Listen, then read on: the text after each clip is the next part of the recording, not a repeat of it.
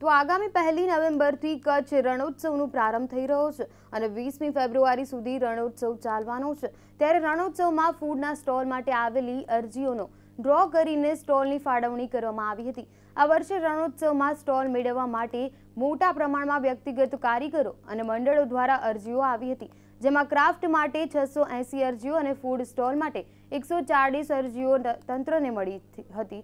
ત્યારે આવેલી અરજીઓમાંથી ક્રાફ્ટના સો સ્ટોલ પૈકી ત્રેવીસ સ્ટોલ સરકાર દ્વારા રિઝર્વ રાખવામાં આવ્યા હતા. જ્યારે બાકીના સુડતાળીસ સ્ટોલ ફાળવવા માટે ડ્રો કરવામાં આવ્યો હતો. અગાઉ રણોત્સવ દરમિયાન દરેક કારીગરોને પંદર દિવસ સુધી સ્ટોલ ફાળવવામાં આવ્યો હતો, જેમાં આ વર્ષે અરજીઓનો ભરાવો થતા બાર દિવસ સુધી પ્રત્યેક કારીગરને સ્ટોલ ફાળવીને તમામ કારીગરો અને મંડળોને સમાવી લેવામાં આવ્યા છે.